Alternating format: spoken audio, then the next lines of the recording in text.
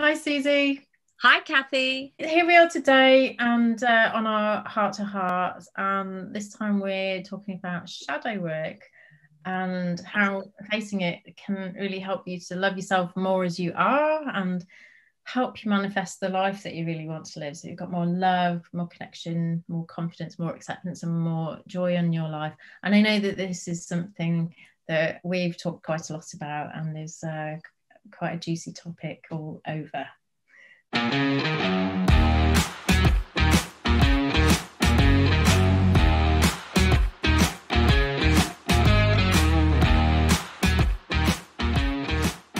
So why don't you why don't you tell me what you think is your shadow? Right. Um, well, first of all, I do think it's a very, very juicy topic, and uh, we seem to stumble upon it almost every time we chat, which is really um, which is really why we're doing this chat anyway and uh, focusing on it. But for me, um, the shadow is um, a part of myself that I guess I'm not really don't um, like, and I tend to um, hide it and kind of put it away.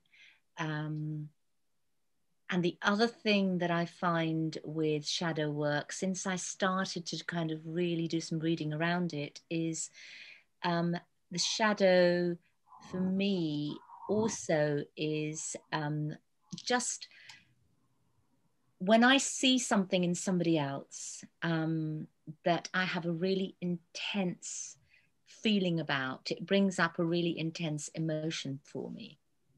Um, so if it's a negative shadow, I I um, I probably would see that person and have a very kind of deep, intense dislike or deep irritation for that person. Um, and the light side of the shadow is that I look up to that person. So I see something in somebody that I think is just amazing, wonderful, and that, um, you know, I kind of, I could never be like that. Okay. So, what That's about you, Cathy? What does shadow mean for you? Um. So, so my, I think my what a direct experience I had of doing shadow work where I got got to meet it face to face, so to speak, uh, was I was doing some EFT with a friend or um, some kind of like um, maybe it was it was some kind of tapping therapy we were doing, and uh, I got to meet this part of me that I remember from when I was a teenager and I used to just hate myself so much. I mean, it was when I look back to that younger me that was so scared and I just felt I was loathsome and worthless and it was just very dark and it was um so I found this like we, we went we were going through some sort of little process where I found an aspect of me that was almost like a creature that was all hidden in the dark corner and just wasn't didn't want to be in the light it didn't want to be seen it wanted to hide. And i think um and so the process of like the the healing work that we did was about a, kind of gently calling that creature out from this dirty corner where it, it wasn't uh, it didn't feel worthy of even seeing the light i don't think. And um it, then felt really free but it took I mean it took a long time. It was quite an interesting session that that was to find that that much stuff was still hidden in me. So I mm. think it's all of that stuff that, you know, I've done decades of work since I was that messed up teenager.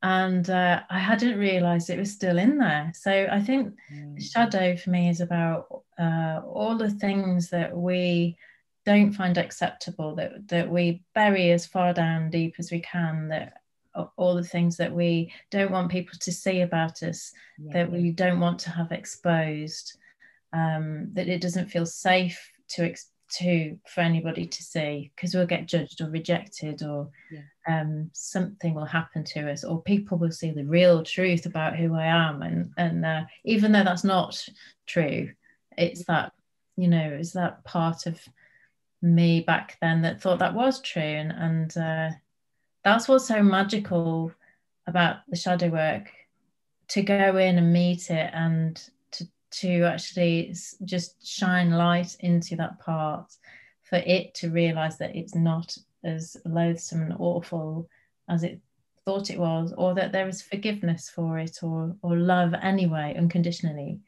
and yes. um, I, that's why this has been such a i think it's a transformational thing for people to do in their on their healing journey and their personal development journey yeah why why do you think you hidden it in in the past, or how did you discover that? Um, how did you rediscover it? What was your journey? So I think I rediscovered it um, very like you in um, reading books and certainly during my um, transformational um, journey uh, in psychotherapy. And during my psychotherapy course, we totally worked with the shadow, and I'd learned a lot about where it came from, which was Carl Jung originally. And um, so being educated about this phenomena to do with the shadow and I remember reading a book that really, really helped me to understand it. It's absolutely, you and I both love this book, you know, Dark Side of the Light Chaser, mm. The Dark Side of the Light Chasers by Debbie Ford.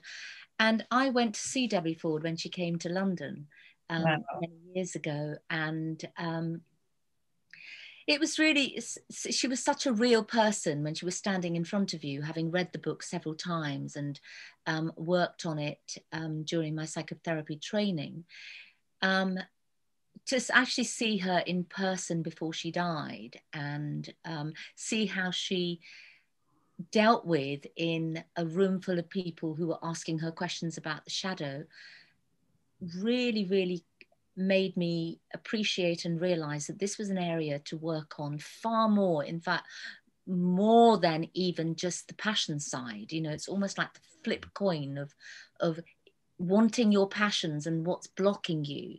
And on the other side is your shadow. You know, it's like um so i like you i i became really if i'm honest i actually became quite obsessed about it because i understood how much you had to dive into parts of yourself that were hidden or you didn't you rejected you just completely rejected they were bad they were stuck somewhere never to be seen again and i like when you said about you know shining a light on it because it takes a lot of courage, Cathy, to do that.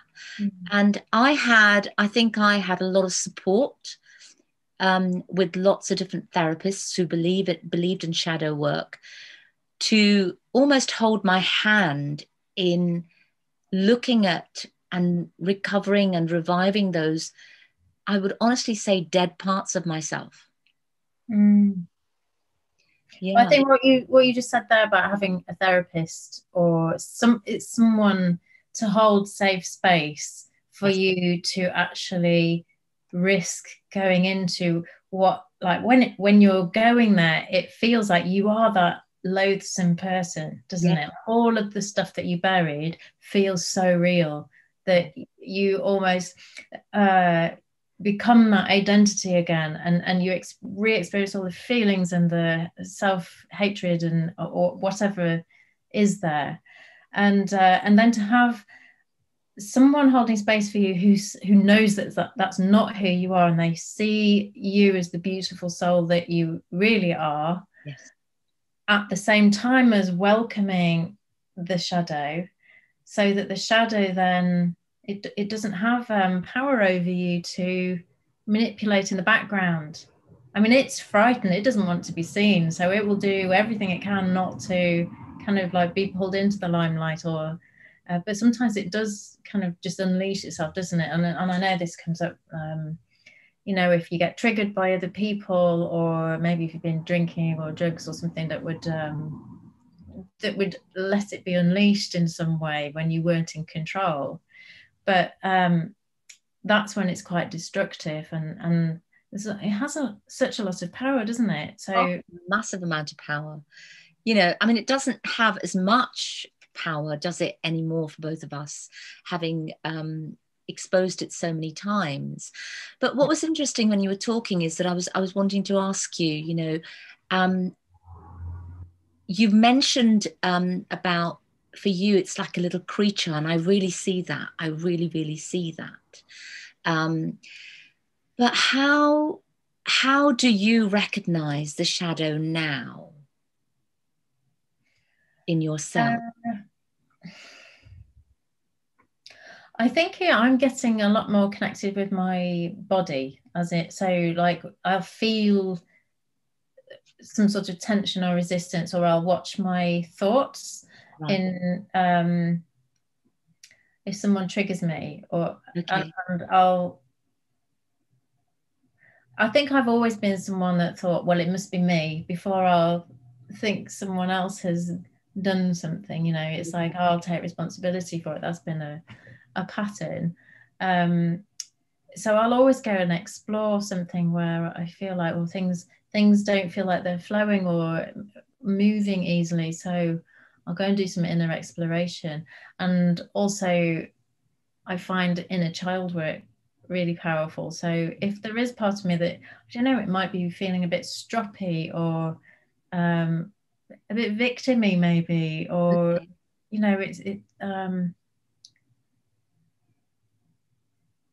possibly those kind of those kind of things are what coming to mind at the moment. So to go in and, and talk to that part of me that j- just feels really stroppy and like um, a bit spiky and scratchy because i'm not normally like that.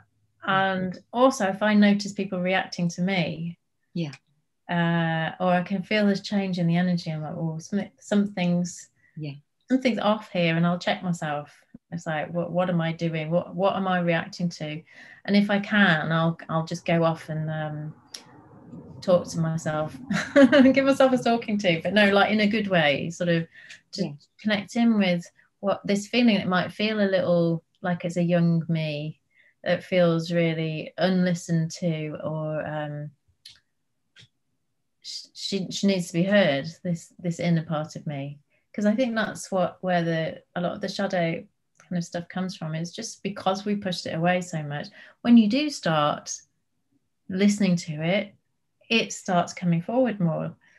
And uh, you know that can be quite overwhelming as well at the start of this kind of journey but um, because it's like finally she's listening. And so more more parts of us might want to be witnessed and seen and heard.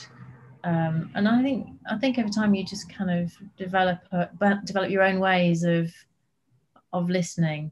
And I I I mean when I was doing um, the flow project work and yeah. when I work with clients and help them in a, a visioning process and you mentioned this before that it's like the the flip side. You have a vision of where you want to go to and you have that comfort zone that you have to step out of. And that's where you meet all this all your obstacles and blocks in the shadow that doesn't want you to be that new identity that you do need to be in order to receive that um, vision or to step into that version of you that has that reality that you're wanting. Yes. all of this has to come up and come out. And i think when you can expect it to do that and you're sort of prepared for right you know i'm doing a big leap here. I'm going to have some challenges. I might need some support because my mind is going to have a lot to say and I and the chances are I'm going to feel a lot of old stuff. Yeah. And if someone can't help me through, then I might believe it. and yeah. Uh, yeah, so that's kind of how I do it. I, and I do get a lot of support like that. So I think one of the things that um, you mentioned is feeling it in the body and feeling that something is a little bit out of sync.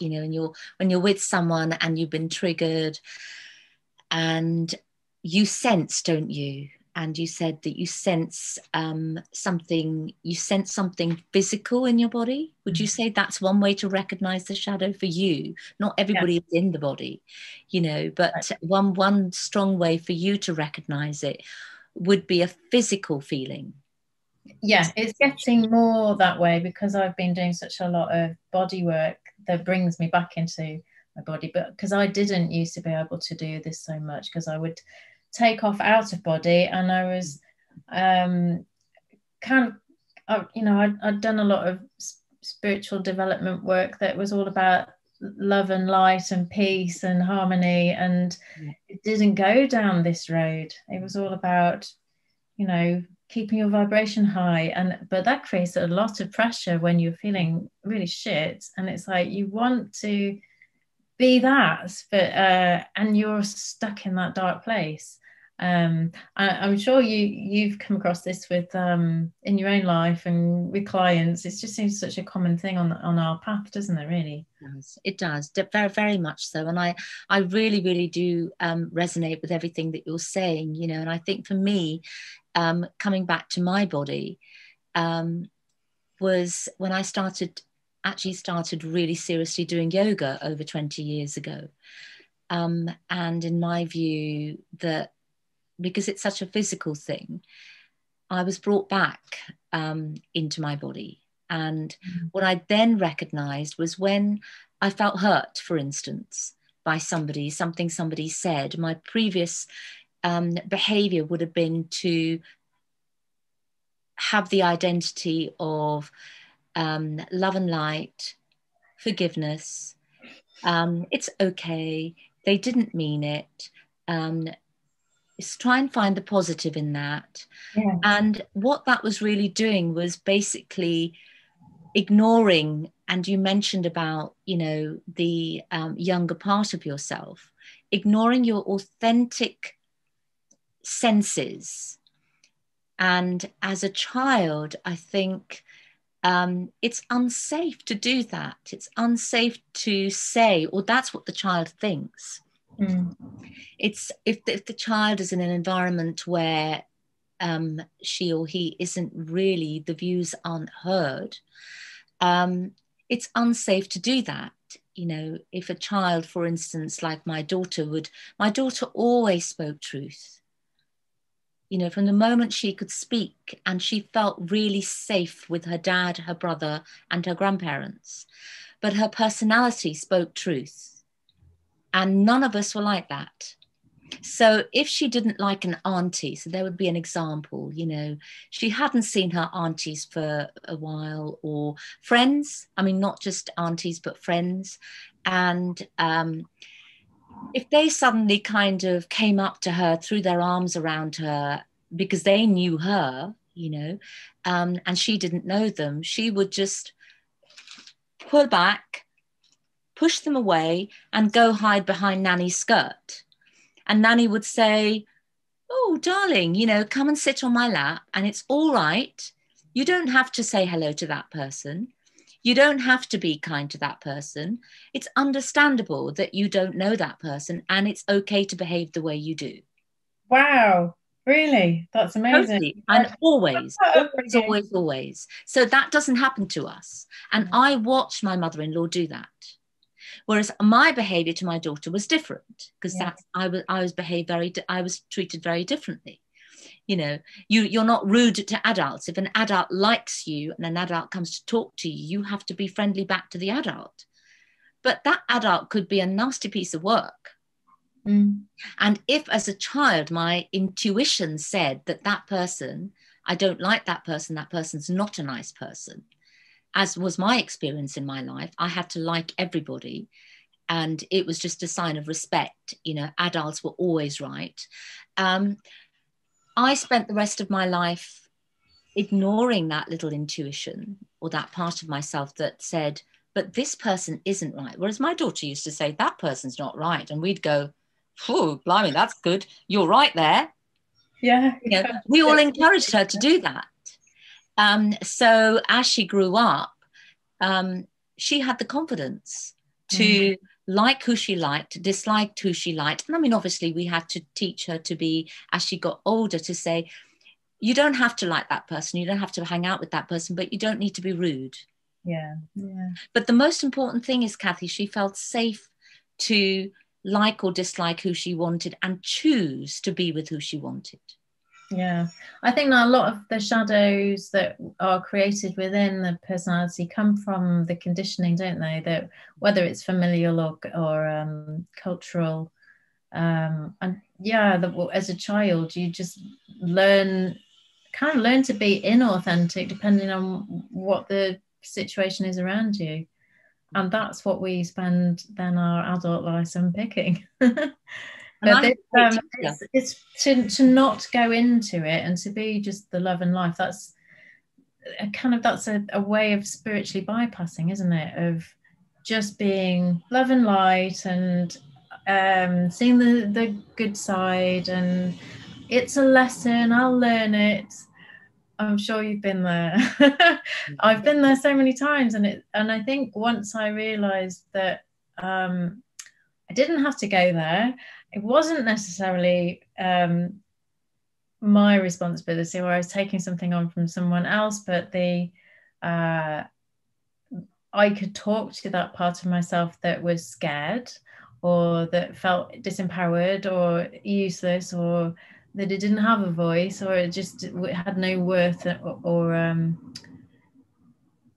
I guess it was a lot of it was about power. It just never felt powerful, and so it stayed in the shadows.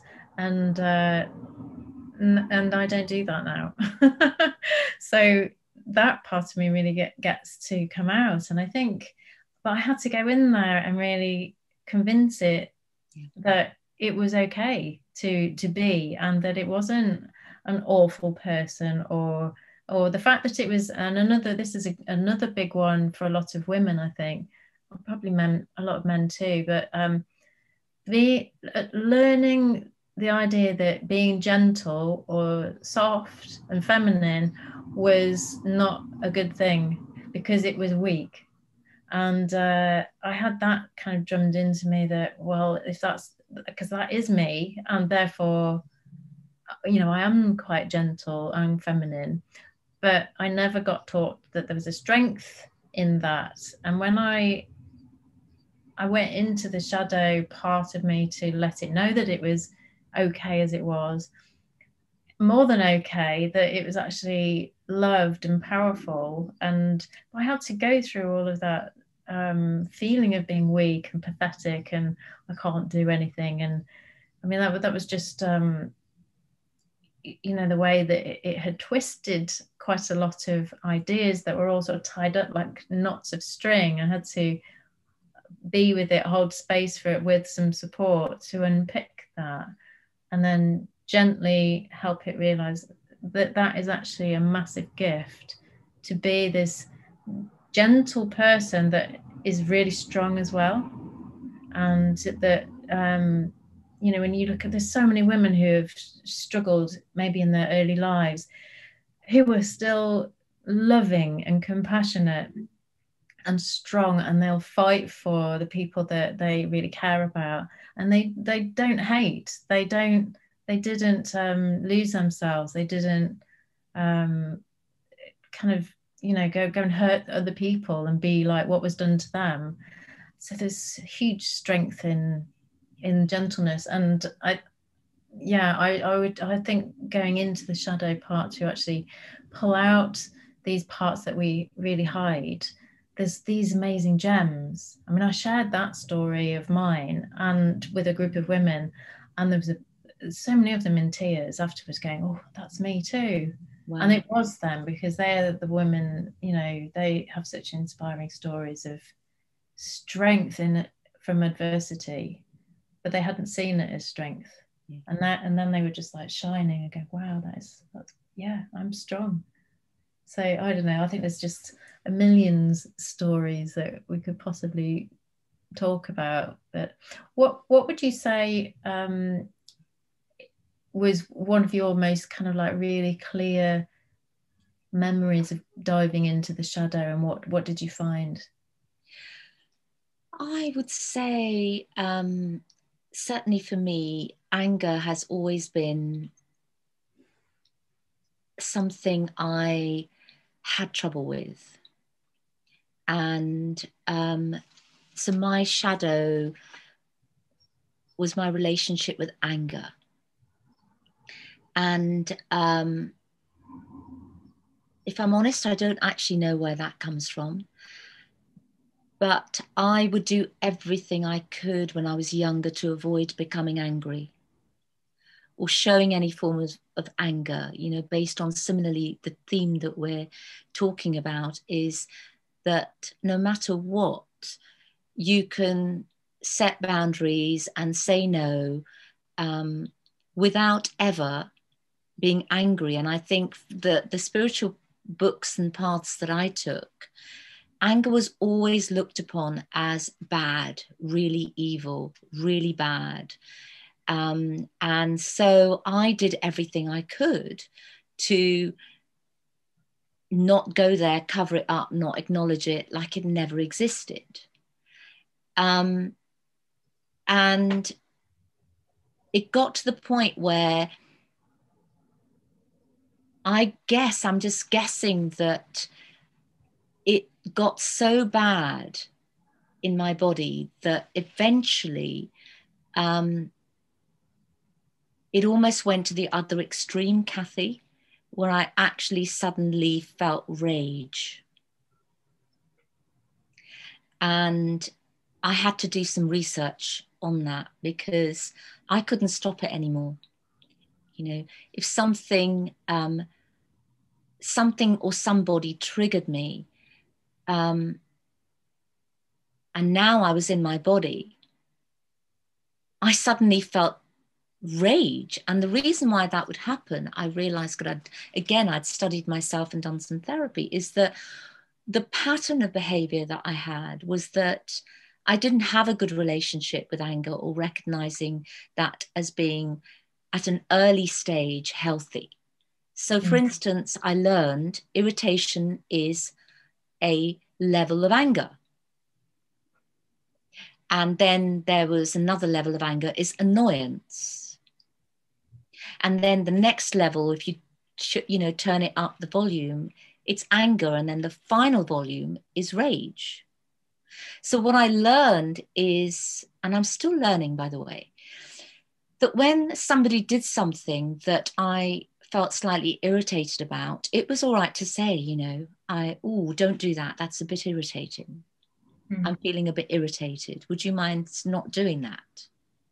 I didn't because of my unhealthy relationship with anger. So I would say in my to myself, it doesn't matter, it's fine. Now, if that person continues to do the same thing and the irritation I realized became bigger to now that person's annoying me. But that person does not know that I was even irritated by the behavior, has no idea because I haven't communicated that. But I'm now feeling annoyance and I block it again and say, no, it's fine. You can deal with this. You can deal with this. You know, I don't, it's fine. Um, and then I would notice that my relationship with that person is changing because actually what I'm really feeling is angry. I can't bear that behavior anymore. You know, um, and it could be something very, very simple. Um, and then finally, I guess it got to the point where I had bottled up that feeling and it got bigger and bigger and bigger somewhere in my body, you know, physically.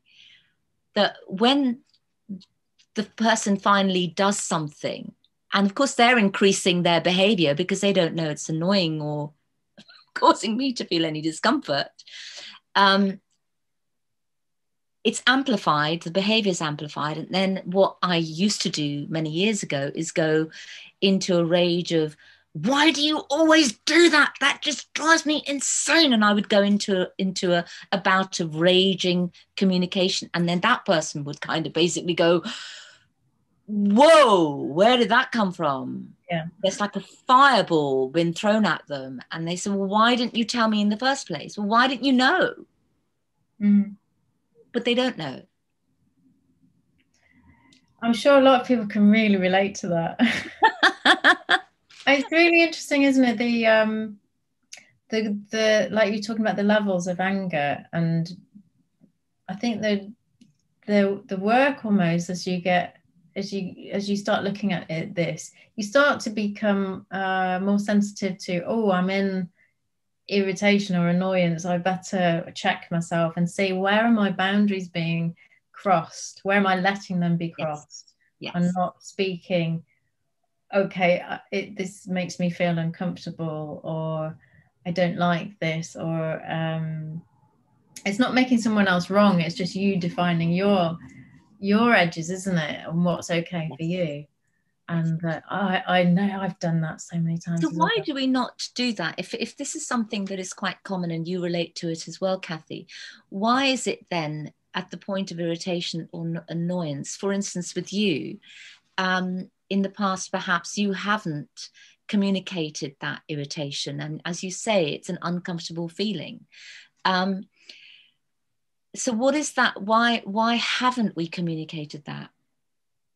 Well i think that comes down to a lot of cultural conditioning about well for me uh, uh and um, you know i'm sure this is for a lot of people for especially for women it's not sort of acceptable to be angry because there's a lot of power in anger isn't there? And in expressing in expressing anger there's a lot of power.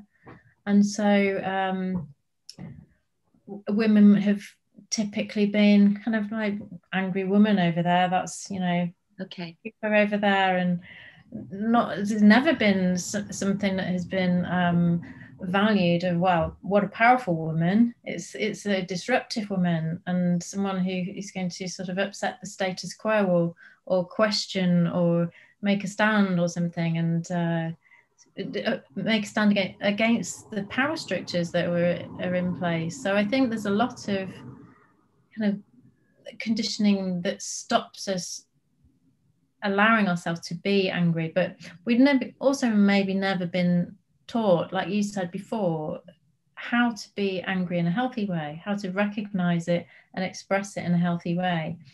Because anger is usually just from uh, having a boundary crossed. Okay. Yep. that is not communicated. And if someone doesn't know that they're doing that then and they keep doing it, it's up to it's your responsibility or my responsibility to communicate where our boundaries are and to What's the fear of the communication. What is our fear of communicating? So if you know, um, it's setting a boundary and saying, I don't like that every time you walk in through the door, for instance, you bang it, you know, and it's going to break um, you know, would you mind shutting it gently? What is the fear of communicating to that person that that is something that is, it's a personal thing, no one else minds the fact that you bang the door when you come in. But I'm just communicating that that particular thing is just, please, could you stop doing that? Because I'm owning it that every time you do that, I feel really agitated or irritated. So, what is my fear of communicating that to that person? What do I think is going to happen if I communicate that? Well, is that a fear? Because the way that you just said that is perfectly acceptable. Uh, and yeah, I never used to do it. And I still have trouble, Cathy. You know, and I guess I mean, I don't know what. I, I, all right. So my fear would be that you won't like me if I tell you if I set a boundary. So maybe, you know, thinking about it now as I've said it, is I maybe somebody who really doesn't like.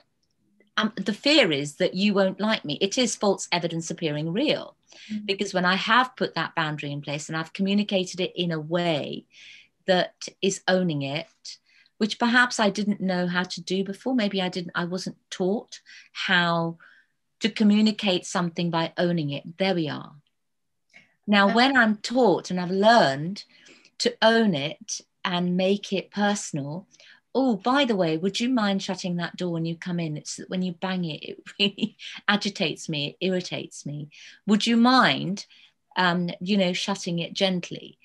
Now, if I had done that in the past and I would have had a response from someone who is an angry person, for instance, yell or shout back at me and say, you know, start accusing me for being a nutter and everybody else likes it, and why the hell don't I like it? I think my fear would be that that person could respond in that way. So it's better to keep it quiet. So it's back to keeping things in harmony and calm because maybe in the past I've had an experience of very angry person.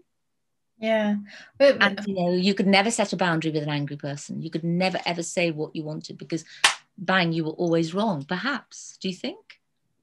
I, th- um, I think that when you set a boundary from your power and you're owning it and you're communicating it, the energy that you're sending out cannot be responded to from anger from a from that person that you described that kind of mm-hmm. energy because there's not something to bounce off whereas uh, someone who's in that energy if you were in fear you were pulling back and that energy goes towards so yeah. that there's an energy dynamic happening there but i think um, i think we're afraid of the reaction potentially or um, conflict uh, you know confronting someone especially if it's like coming from your power and you're threatening someone else's power position like someone that um, maybe assumes a superiority position and you're like oh, can you do this for me because this is this is important and this it upsets me when you when you do this you're owning it but and you're setting a clear boundary but if you're worried about what their reaction is going to be or that you won't get it that I think if you follow the threads back of, oh, why do I feel like that? And I mean, what you've just done now and exploring your own threads in that little scenario, that's that's what we need to do more of. And that, you know, and, and I think you're right because what I've recognized in myself is that there are there are two types of people for me. So number one is that that person, if I know that person, that person is going to going to bully me back and be angry with me. So best not to say anything. The other type of person is if I said that to that person who's very sensitive, they won't like me anymore because they don't like disharmony either. Mm. So far better to keep it, keep it, you know, we all like each other, we're all okay, and I accept you for who you are, and you accept me for who I am, which means that I have to tolerate anything that you do and everything that you do. And actually, what I have discovered personally is that the fear was false when I have communicated to the angry person, could you do that? That angry person has respected me. Mm. When I have communicated to the very sensitive person, um, I let go of the need for approval from them. So if they did decide that my request was unreasonable and they never came back to me, it was okay for me to be okay with that. I didn't need that person's approval or that person to be in my life any longer because actually and you you know you mentioned earlier about one of the things about working with the shadow was you learn to love yourself in um, love your higher self love yourself not in a vain way but love values and principles that we all share. And if i'm asking you to stop doing something that is causing me pain, it is a reasonable request. Yes. It's not unreasonable. And if you do react in whatever way that you react, I can let go of the outcome because I'm in my power, you know, and it's okay to ask for what I want. And that to me is what I've learned is, is everybody loving themselves and having a right to ask for if somebody says yes or no, that's entirely up to them. But it really is okay, part of the process, to be able to set a boundary, especially if you're doing it in the manner that we've described, you know? Mm-hmm. Yeah, and I think it, um, a lot of it is a, about sort of you owning who you are and what's okay for you, and then sort of training you have to stand in that and own that so that others learn how to treat you. It's it's always about your where your boundary is. That that because people will if you think about people are energetically meeting they'll meet where the edge is. They'll meet where the the connection is. And so if you don't have a boundary and it comes straight at you uh, and or you merge and then you end up in codependency with with someone say if it's a partnership then you you end up having to like unravel to to get that clarity of like well here's me and here's you and th- this is what's okay and this is not okay.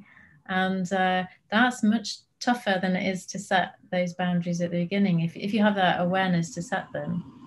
Um, yeah but i mean I, I suppose from a, a spiritual level um, all experience is just experience whether uh, whether it's like it's like source doesn't judge positive and negative on on emotions and feelings. It's just all felt experience as a being here in this physical body on earth.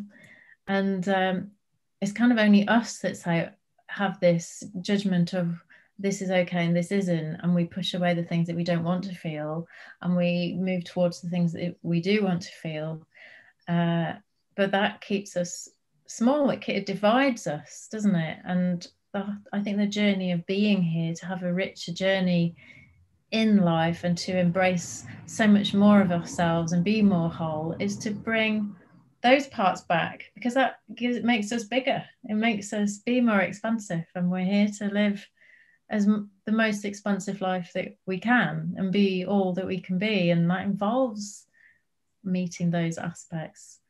Um, but I think it's really important if uh, if this kind of work is new t- to someone or someone maybe I, I don't think I could have done this kind of work when I was young because I if I'd gone into my shadow on my own, uh, I would have just found all of this stuff that just proved that I was an awful person and therefore I would probably have got a lot worse. So I think it's important that if you have very low self-esteem or you kind of lots of self-loathing or you just don't feel good about yourself at the moment don't do this on your own get some really get some support um, to someone to hold that space for you like we said before um, but this is it's like a, it's the path of fire for transformation isn't it? I think anyway. Definitely it is. And one of the things that as you were talking that um, came to mind was i don't know if you saw that film the cartoon film cathy. Um, i'm trying to remember the name. Um, wasn't insights or something where you've got anger and fear and do you know which film i mean no. Oh, you must, must, must. I, I must find it and send it to you. Um, and pretty much um, Joy is the main character, and she is um, really sort of trying the, the, the other character to get sadness to keep out of the way in this little girl's um, experience, you know, and they're all in her. And so you get to see her going through um, a change, going through a change um, of situation in her life and her parents moving. And she's always had a lovely happy childhood. And then and joy has always kind of kept her upbeat and joyful. And then the parents move and she doesn't move to a very good place and other emotions come in. And joy won't let sadness anywhere near her.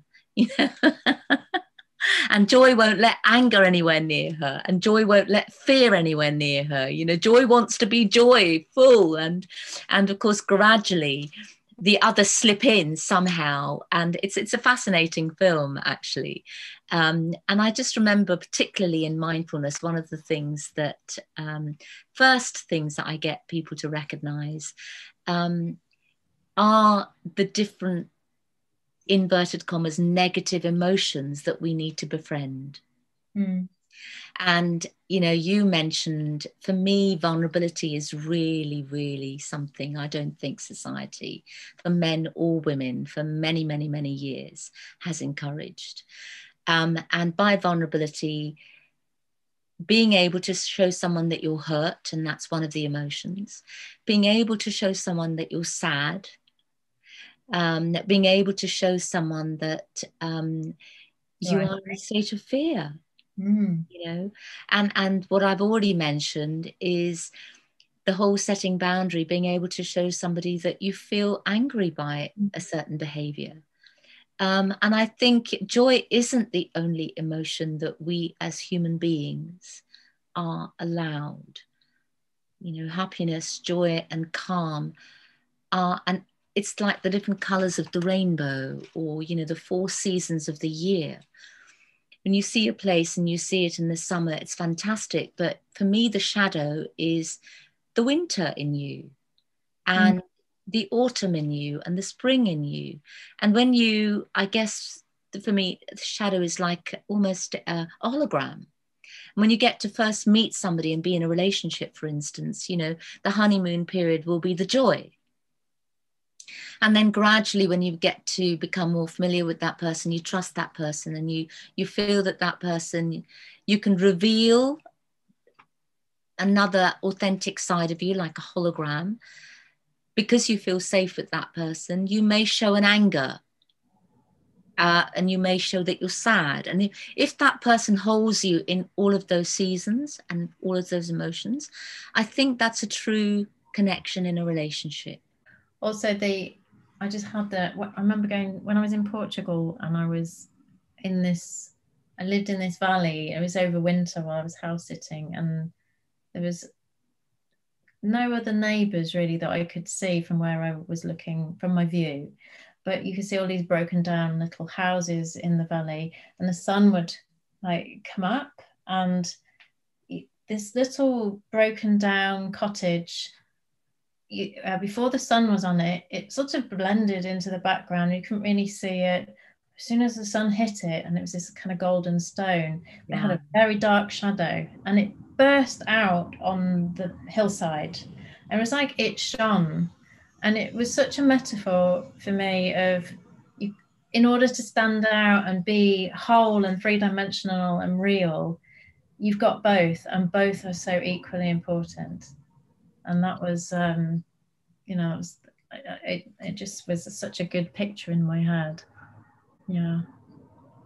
And, and I liked, you know, going back a little bit to um, what you said about when you identify um, the shadowy parts of yourself and you have the courage to shine a torch and you know have the sun shining on it and you have the support with you to help you to go through that or because you know that if you don't it accumulates and you're not going to be your whole self yeah. um, and i think all of that understanding um, and what you do in order to work with what work with what we, we we've said you know different aspects of the shadow um, what is really really interesting is that we probably do need to give ourselves some time to do a bit of investigation and one of the things that I noticed you mentioned at the beginning, part of that investigation is exploring. And it's exploring your thoughts around what's happening mm. and maybe even questioning them. And I mentioned earlier, you know, something I often do if I know that I'm triggered and I'm having a inverted commas negative emotion or my energy is a bit low i do like you cathy said now i give myself time you know and i remember when i was in america doing uh, the coaching course the americans used to call it being in in in the funk. I really like that. You know i'm in a funk. And um and it's so true. It's like i just make a mental note. I'm in a funk. I want to be my bright, um, abundant self again. I'm going to take some time out, uh, you know, literally allocate some time out in the diary for myself to investigate what happened, who it was with, what was brought up for me, and the self talk. Mm. You know, and I, I noticed you were talking about at the beginning, you you were kind of going into what I would call in coaching, we call the self talk, you know, the limiting thoughts around a limiting belief. Mm-hmm. And listening to that and maybe being quite nurturing and investigating, exploring, and saying, well, actually, you know, let's have a real look at this. Is that really true? Mm. Yeah, it's it's it's a nice little process, isn't it? Yeah. And do you have do you have I mean I call that my seven step process. But do you have what do you do with your clients um you know when when you recognize that perhaps it's a recurring shadow that's blocking them? Well, I tend to kind of in in the session take them into that a very nurturing held space that then connects them to their infinite self so they have their their sense of their own power at the same time as kind of going into meet where the, the as it comes back to the body again where the, the body shows where the resistance is and you feel into the body and really kind of put your awareness in a somatic sense, a memories start to come up, or it feels like something that reminds you of when you were seven, or or an event that happened then. That where this tension in the body originated, right? And there's a lot of um, fears and and judgments and all, all the shadows around that mm-hmm. that that young you took on, yeah. and so I go in with the client, like guiding them, and they have their higher self with guiding them as well. So they feel empowered to look at that frame by frame and see what really did happen and how they made the meanings about themselves that they did and what they heard from another person if there was another person involved. And the, when they're coming from their higher self and which is in, in unconditional love they can unconditionally love that younger part of themselves so that that feels validated and seen and they don't have to then carry that belief anymore. And also they can forgive the person who they feel hurt by or slighted by or whatever happened and see them as just a, a soul on this path and that and what they learned from this meeting or this event. Because there's always something uh, beneficial even in, in the darkest times that we've had, they've put us on another trajectory and given us some kind of skills and abilities that we wouldn't have learned otherwise. So it's about taking the gifts from it. And once all of that is unpacked, there's no energy left in that trigger anymore for, for it. So it just you know you just don't get triggered by that kind of thing. Quite so intensely anyway. Yeah. Mm. I mean, there might be different nuances at different times, but usually it's it's pretty much gone. So yeah, it's it's a very interesting thing. But I think one last thing maybe to say about doing shadow work, and I think you kind of touched on it a bit with what you were talking about in in um, how you did it in America when you're in the funk and then you go into the the looking and you take that time for yourself. I think it's really important also to stay in that kind of like scrutiny and doing shadow work all the time. It's really important to do it for a bit and then go and do something that makes you feel good. Totally. Because it's always going to be there. It's always you can always come back to it. But to go and do something that that lifts you, otherwise it can bring you down. And um, I think it, you know, you have to manage that for yourself. But I think that's probably something that I've I've dived into it so you know, with such gusto and thought, yes, here we go, let's transform. Uh, and then it's been quite hard to get out of, and I find myself in the downward spiral. So it's a balance. And it's like different levels, isn't it? You know, different layers. And we can work on different layers over a period of time. It doesn't all have to be done all at once, you know. There's no rush, is there? Yeah, there's no rush. And I think that's, for me, that's wisdom. That For me, that is wisdom that I've now found. Um, because certainly when I was doing my psychotherapy um, diploma, I found, you know, for a few years, I was in a funk for a long time because weekend after weekend after weekend, we were going into this shadowy stuff. and there was you know before i'd sort of and then i had life and i had to go and look after children had a job and then i'd be back on the course again for long weekends sometimes from thursday to sunday doing very very deep work and looking at my past and doing inner child work and um, I think it's really important. Now, what I do, exactly like you're suggesting, you know, many years later, is I recognize that it's a layer you know, I have been triggered and I do a little bit of work, and no doubt I will have another opportunity. Yeah. There's no end of it, is there? I need to go. You know, it's like this final thing I've got to resolve it now, which I had when I was younger. And I think for me, that's, you know, uh, one of my favorite um, Buddhist uh, teachers um, of mindfulness, Pema Chodron, she says, you know, you've just, it, it, it is always going to be there. And I think at the end of the day, it is really just a matter of loving kindness. And giving yourself loving kindness enough so that you can get back into having some joy. And like you mm. say it's it's it'll always be there you know and you can just work chip away at it chip away at it chip away at it. You know and she says it's like sometimes you have four steps forward and five steps back and that's okay. Mm. Some days you find you have four steps forward and two steps back, and you go, Yay! Sometimes you make progress. I think, again, at a spiritual level, as part of the, you know, we're here as a collective of humanity, that this work of us doing the shadow work for ourselves is what helps raise the level of consciousness on humanity for well, absolutely humanity absolutely. And I, and I you know just to finish on that i really really don't and i know you believe the same thing. I genuinely genuinely don't believe that it is per it is possible to um, just follow the passions and the passions and the passions and not have some shadow work come up. I, I personally don't believe, I think you've got to be very highly enlightened on this planet to um, to not have any any shadow work come up.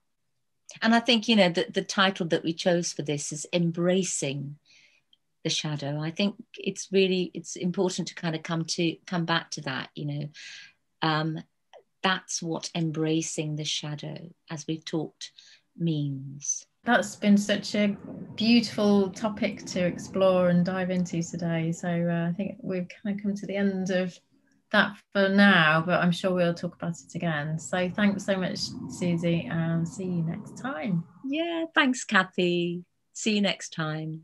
Bye bye.